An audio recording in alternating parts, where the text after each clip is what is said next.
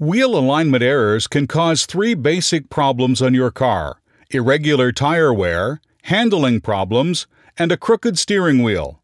A common indicator of misalignment is excessive shoulder wear on a tire.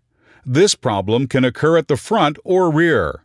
A pull problem is another indicator of misalignment. If the front wheels are both tilted to the left, this can cause the car to always steer to the left.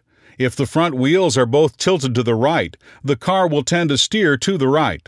Another way to introduce a pull is with errors in the front to rear tilt of the steering axis, which should be the same on each side.